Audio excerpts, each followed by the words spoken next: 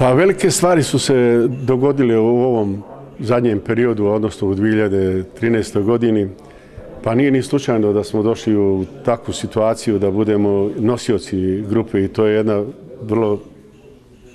dobra stvar za našu reprezentaciju, da izbjegnemo neke možda tradicionalne koji nam baš i ne leže, ali u svakom slučaju sa nadom jednom da dobijemo dobru grupu i da budemo sudionici i evropskog prvenstva. Ali prvo da završimo ovo što smo sanjali i dosanjali ovaj san da budemo sudionici jednog velikog takmičenja i u istinu mladići neke i znam jer su i neki kod mene počeli da igraju ali posle toga je bio Čiro Blažević ali krem svemu ovome i kontinuitet jednog rada je ostavio pravog traga i Safe Sušić je taj naš izbornik, selektor, kako hoćete. E, negdje izgleda zapisano da on ipak bude, s obzirom da je bio i najbolji igrač svih vremena, pa evo i kao takav igrač i da on bude prvi selektor koji će nas odvesti evo i vodi nas na svjetsko prvenstvo. Jedino što mogu da kažem da pratim ova sva zbivanja, raduje me ovaj e, forma Džekina sa željom da i ovi drugi nastave njegovim putem, s obzirom da su još neki igrači u, u pripremama, Pjanić igra izvredno, ali prije svega bih želio da poželim našoj reprezentaciji, Safitu Sušiću i njegovim saradnicima da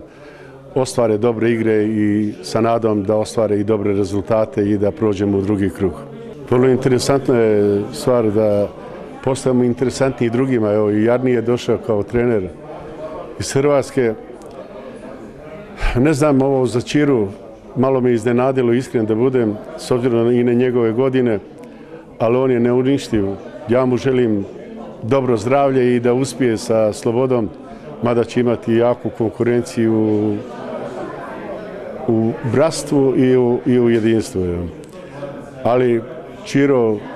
kao Čiro, on ima svoje relacije i on vjeruje da, da, da će on napraviti taj podvig da sloboda koje ja, ja se slažem da slobodi je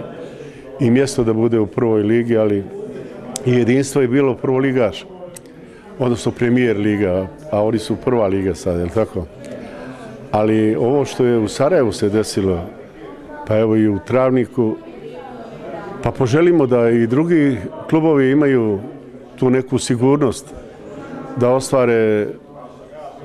bolje uslove za rad,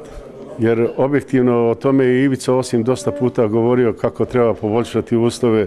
pa evo znam i dosta kolega, trenera koji su pričali o tome da ne možeš malte ne dva pasa da odigraš kako treba o, gledajući